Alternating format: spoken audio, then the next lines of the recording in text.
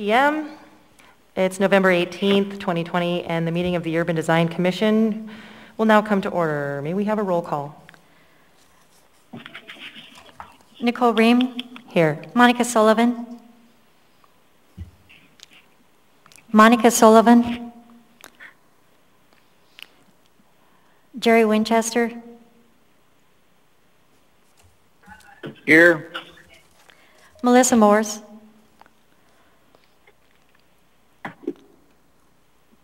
Melissa Morse.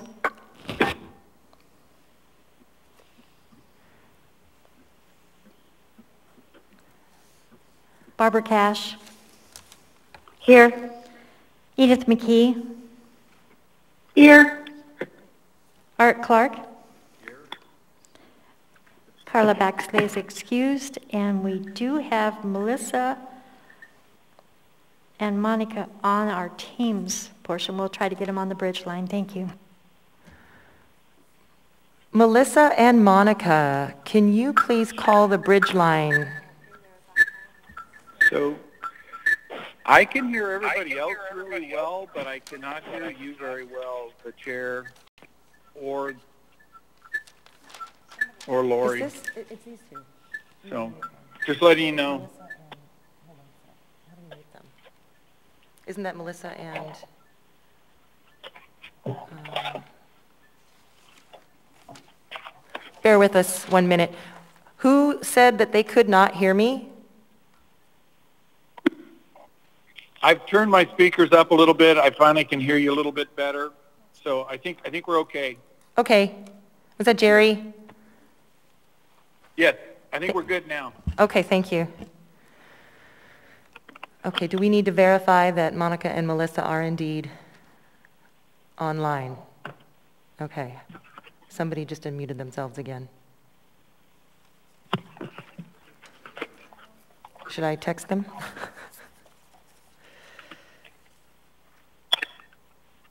Please hold for just a couple of seconds. We're still having technical difficulties.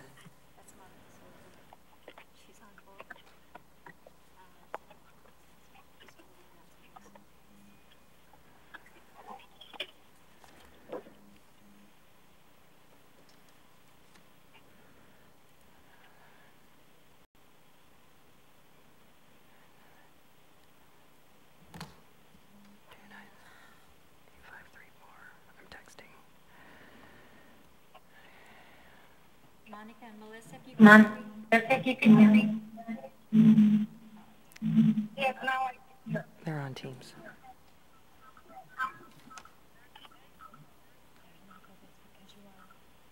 What's the bridge line number again? I'm sorry. There are people still on the teams. This I is know. Jerry. Okay. 34366067.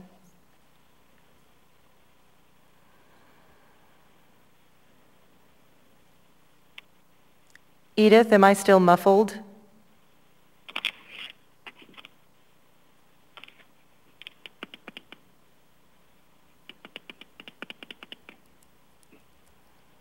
I wonder, if- Edith, can you hear me? It,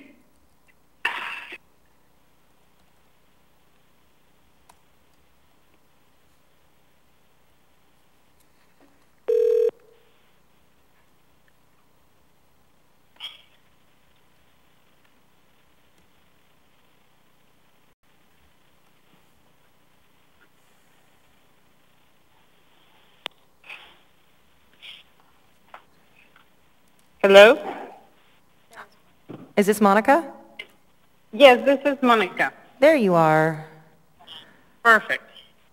Melissa?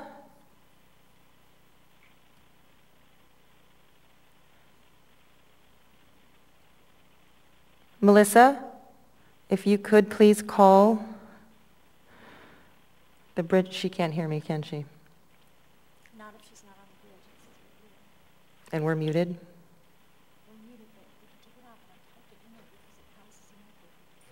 Okay.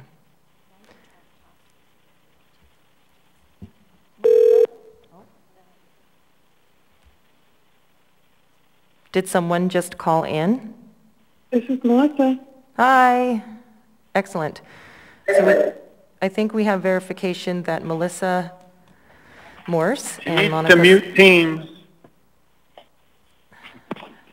My And- Teams is muted. And Monica Sullivan are in attendance. That concludes roll call. Let's move on to minutes. Uh, May we have a motion to approve the minutes from October 14th? So moved. We have a I move motion. to approve. This is Barbara. Was that a second? Seconded. Thank you. Are there any objections or corrections to the minutes?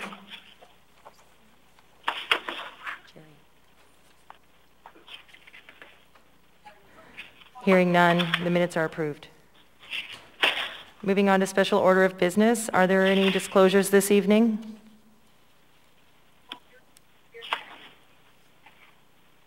Doesn't appear that there are any disclosures. Before I proceed, I would like to ask uh, the secretary one question. Do they still need to type their motions, or can they speak them now that we're on the bridge line? Okay. Should they type then?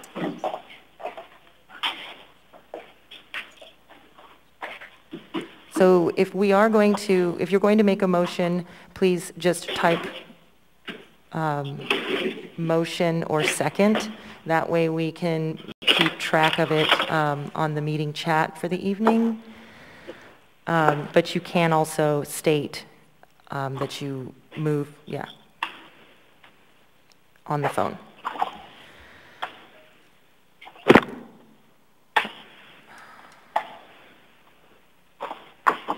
Okay.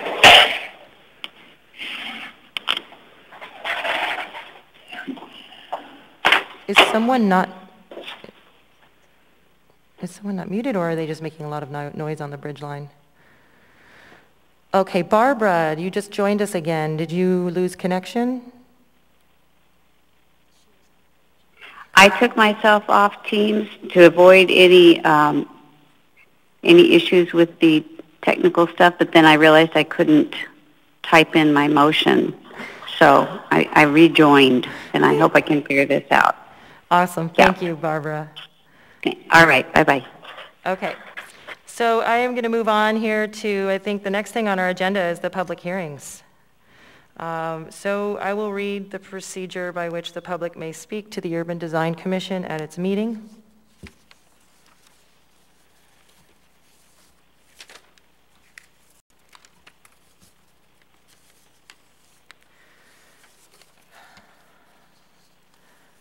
Okay.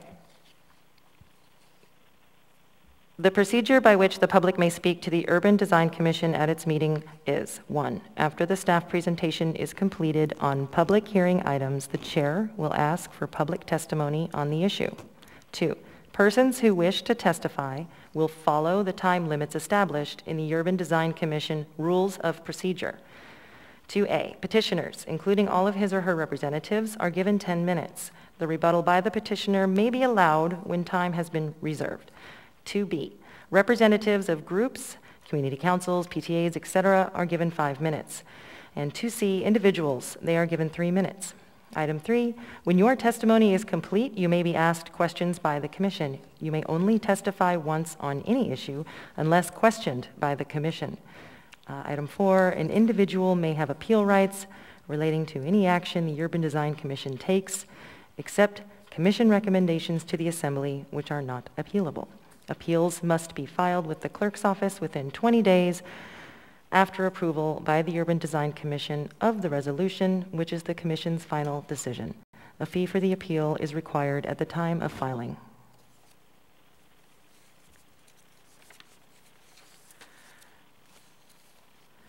We have case 2020-0132, petitioner Jack M. Pomerantz is before us with a request for a design variance to allow existing landscaping to remain and to allow uh, required parking spaces to be located within a yard setback.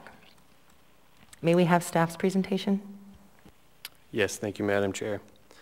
The petitioner is requesting a variance from Anchorage Municipal Code Title 21, Chapter 7, subsection 080E2, E parking lot landscaping requirements to allow the existing landscaping and drainage facilities along West 19th Avenue to remain instead of L1 visual enhancement landscaping.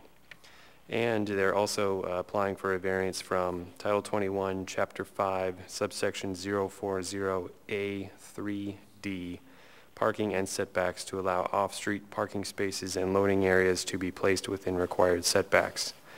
These variances are being requested due to current site constraints and the desire to redevelop the site into an adult care facility.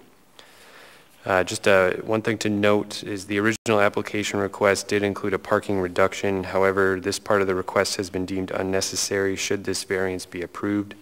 If this variance is not approved, then the applicant can work with the Municipal Traffic Engineering Department and Planning Department to apply for possible parking reductions, and uh, no action on the parking reduction request is necessary from the commission at this time.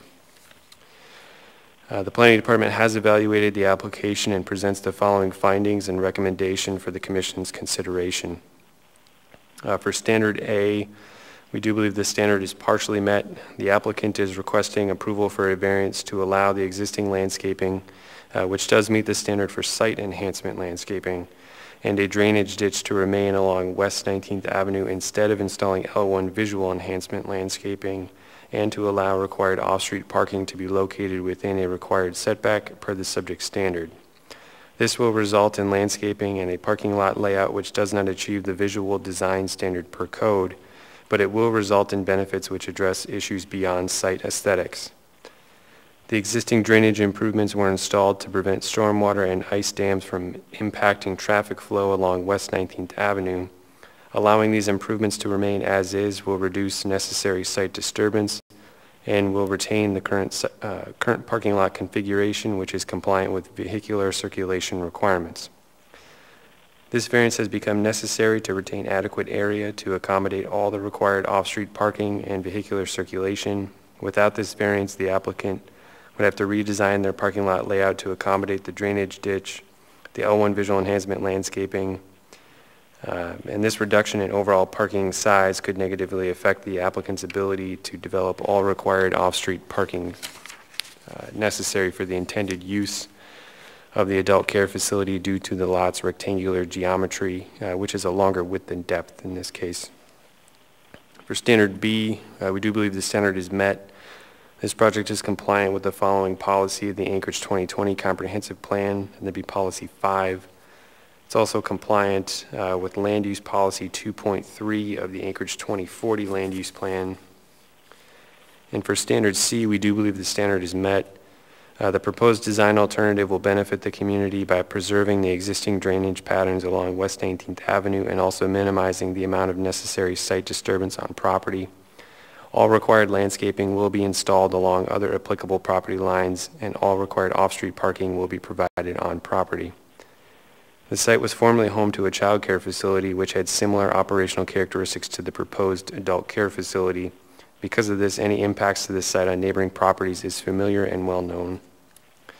For standard D, we do believe this standard is met. The granting of this variance will not adversely affect the use of adjacent property, allowing the existing landscaping and drainage facilities to remain as is along West 19th Avenue uh, will not prevent or impede adjacent property owners from making full lawful use of their property. The current course for stormwater and snowmelt drainage will be retained, and there will be no adverse impacts to any public facilities or municipal rights-of-way. For standard E, we do believe the standard is met. This variance will not change the character of the R2M district where this project is located, nor will it permit a use not otherwise permitted in the district. The applicant intends to develop the site into an adult care facility serving nine or more persons, which requires the approval of a conditional use permit within the R2M district. The corresponding conditional use permit will require approval from the Planning and Zoning Commission. Uh, For standard F, we do believe this standard is met. Uh, The granting of this variance will not restrict or impede ADA accessibility or reasonable accommodation. Compliant ADA access will be provided as part of the development of the planned adult care facility. And for standard G, we do believe the standard is met. The granting of this variance will not adversely affect the health, safety, or welfare of the people of the, of the municipality. This variance is being requested due to site constraints on property caused by unique lot geometry, combined with the placement of the existing building, which impacts the petitioner's ability to fully locate all required parking and loading areas outside of any required setback. Additionally, allowing the existing landscaping and drainage facilities to remain will preserve the current drainage, drainage facilities along West 19th Avenue. Altering the existing drainage patterns may result in a negative impact to surrounding properties from impeded stormwater runoff and ice dams during the winter months. And for standard H, uh, we do believe the standard is met simply by default because the variance uh, request does not involve a sign. Um, Anchorage Municipal Code does require that the variance request substantially meet all eight of the design variance standards in order for a variance to be granted. The department finds that standard A is partially met and all other standards are substantially met. Therefore, the department recommends approval of the variance subject to conditions one and two on page nine of the staff report. Um, And with that, I'd be happy to take any questions that the commission may have. So thank you, Madam Chair. Thank you. Are there any questions for staff? Oh, Yes, Commissioner I do have. Commissioner Sullivan. Um, my question is, seems like they're expanding uh, for also for the adult care services, and I'm just looking at the requirements for parking. Uh, the drawing is saying that they have 8,000 square foot for adult care facility. Uh, that will generate about 20,000. So, like, what's the parking for the child care? I mean, how are we making the counts of the total occupancy and how much parking they need? Uh, Madam Chair, I will have to look that up real quick. Uh, Just give me 30 seconds.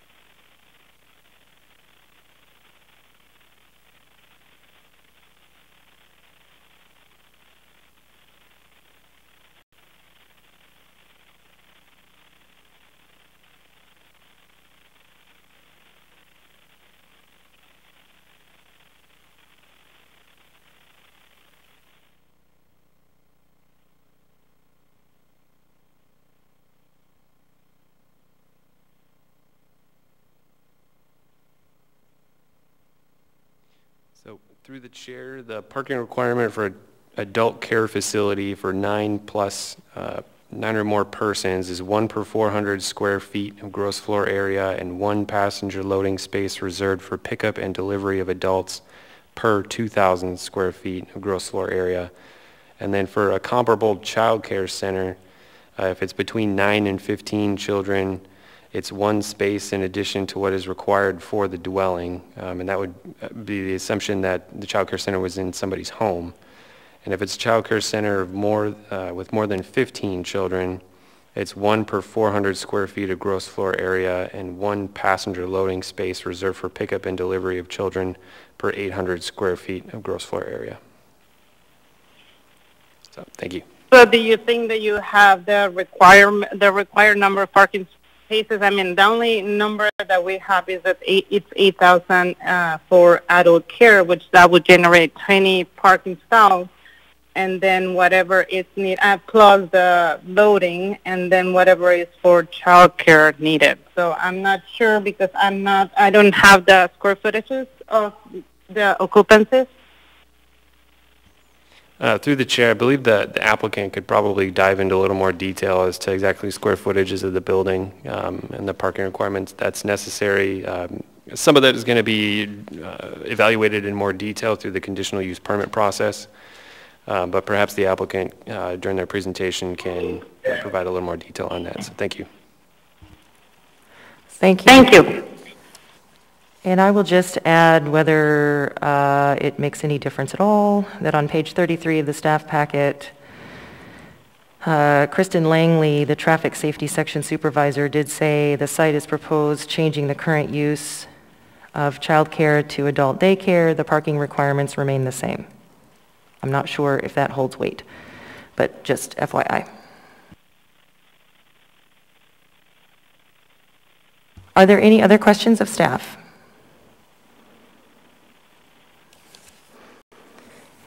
Hearing and seeing none, do we have a petitioner on the bridge phone?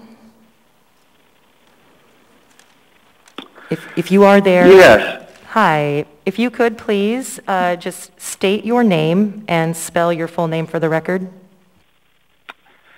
Sure. Craig Bennett and C-R-A-I-G and Bennett, B-E-N-N-E-T-T with S4 Group. Thank you. And would you- have 10 minutes? Would you like to reserve any of that for rebuttal um, due to No need to reserve. No need to reserve. Okay. You may proceed. Okay, Chair, members of the board, thank you for letting me speak tonight. Um, I'm the petitioner's representative, and staff did a really good job explaining the need for the two variances here.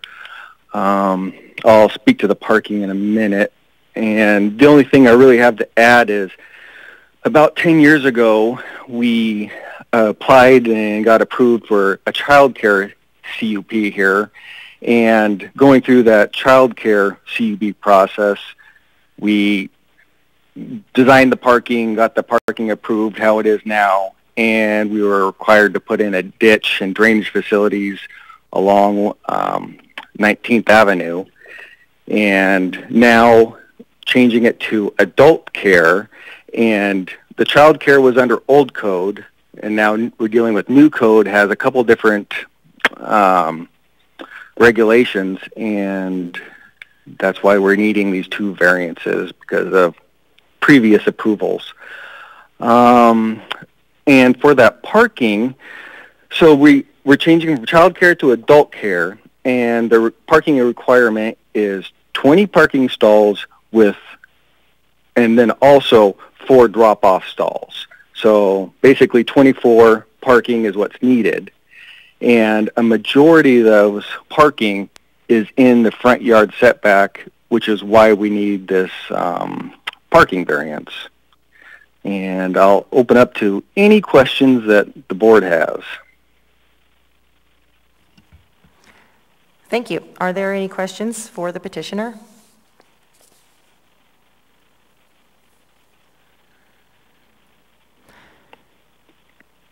Commissioner Sullivan. Uh, thank you. Uh, well, thank you for clarifying. I thought it was going to keep the daycare also, but that makes sense. Uh, now I understand how the parking works. Thank you. So You're my, welcome. qu- my next my next question is um, seems like the the area where there's going to be the loading and the a- the the the loading of the passengers and accessible um, parking stall are perpendicular to the building. Uh, currently, you have curbs, like uh, parking curbs. I'm assuming that that ones are going to get removed. And then also, uh, my concern is that the asphalt is in this repair. And, and I'm just wondering if you guys have checked for accessibility, that people can actually roll through the area without having problems. There's some cracks in the asphalt. Yes. So for the first part, for the um, dropping off parking and um, perpendicular to, you're talking about the 20-foot alley, I'm assuming? Sorry, the parallel. Yeah, I'm talking Yeah. about the parallel parking to the building where it says there's an accessible Correct. So those and you have, So those Go parking sorry. shown in red there that are parallel to the building is what traffic, the traffic department's going to require for the drop-off. They want four in a line um, there parallel to the building. And that will be going through the conditional use per, um, process, um, how those stalls get painted, and um, most likely the, we will be required to put bollards between the parking stall and the building for a five-foot alley or aisleway. Um, and so there probably won't be a curb between it, but there will be bollards. okay, that makes sense. Uh, thank you very much. You're welcome.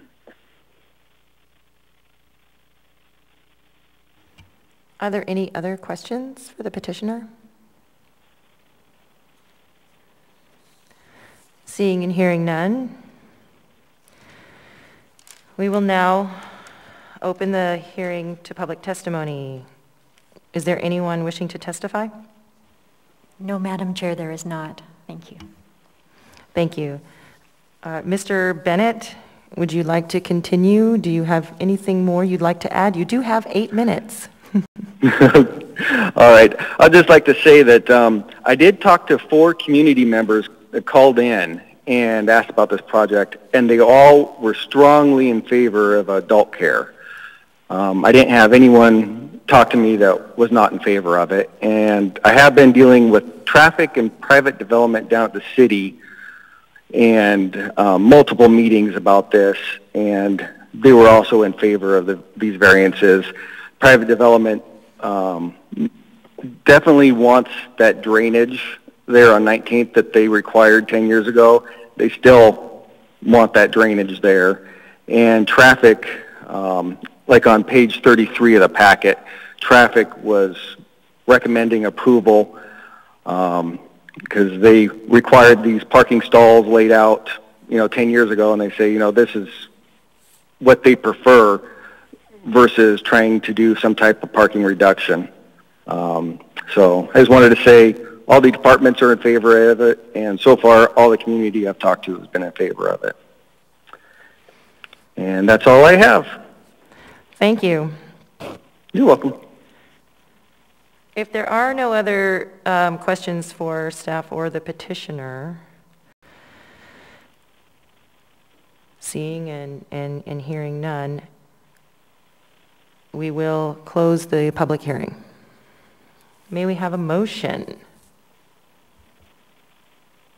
Please type motion if you would like to make a motion.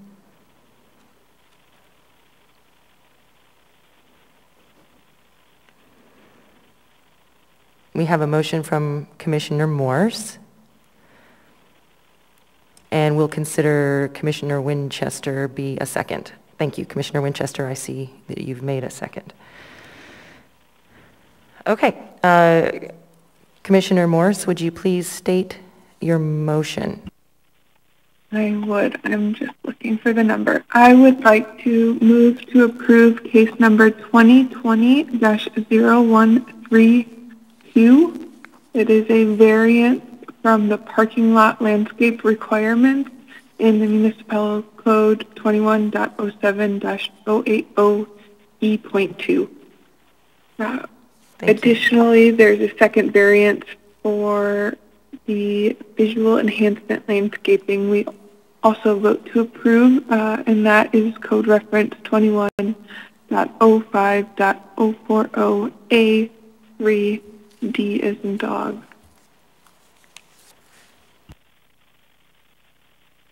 And you, subject to department's recommendations? Correct. Subject to department recommendation one and two. Thank Do you you. want me to speak them? No, uh, I don't believe so. That's fine, we have them here, documented. Okay. um, Well, so we do have a second. Would you care to speak in, to your motion and, and state some findings, Commissioner Morse? Yes, I'm ready to speak to the motion. I would note that first we should thank the petitioner for uh, dealing with the technical difficulties that come with these online meetings. We're in an unprecedented time and we appreciate your patience. Uh, I will note that the requirements of this variance were to meet all approval criteria of 2103.240G and I found that all standards were met. The project is a, a great reuse in the center of the city, and this is the point of the Urban Design Commission is to find a way to allow the city to continue and grow and refill these empty spaces. So find it as a, a well-rounded project for the municipality. Thank you, Commissioner Morse. Commissioner Winchester, would you care to speak to your second? Uh, Thank you, Madam Chair. Um, Yes, I would. Um, I would like to state that um, I will be supporting the motion, of course. Um, I do find that um, these irregular lots um, that uh, we have, of course, uh, find ourselves with, and uh, the concerns uh, with trying to accommodate um, all the various code uh, requirements uh, is the reason we have this variance process, and it should be uh, reasonable. And I think that this is a reasonable interpretation. Uh, I think staff did a great job in stating that all of the approval criteria standards were met, and they're very well illustrated. The one that was partially met, I find um, interesting that it dealt with um, only the uh, stormwater and ice damming and and uh, and the drainage issues, which really are a significant uh, piece of our uh, of our landscaping and and land needs in Anchorage, and that um, making sure we maintain that stormwater and ice uh, requirements uh, on West 19th was a big, and the drainage ditches is what put some of these uh, criteria into a partially set, set standard. But uh, I do believe that the uh, petitioner has met uh, the intent uh, fully uh, of the ordinances, and and so I will be supporting the motion. Thank you. Thank you, Commissioner Winchester. Does anyone else wish to add findings or speak regarding the motion? Seeing and hearing none, the motion on the floor is to approve a request for design variance to allow existing landscaping to remain and to allow required parking spaces to be located within a yard setback. May we have a vote? Mr. Clark? Yes. Ms. Cash? Yes. Ms. McKee? Ms. McKee? Yes. Mr. Winchester? Yes. Ms. Morse? Yes. Ms. Sullivan? Yes. And Chair Reem? Yes. Thank you.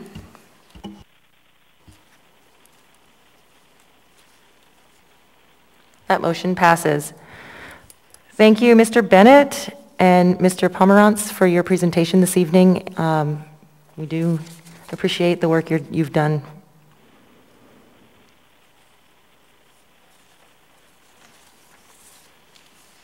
Okay, well, I think we're moving on to the rest of our agenda. And it would appear that we do not have anything officially on the agenda. Does the secretary have anything? No, Madam Chair, thank you. Is anything from the commission?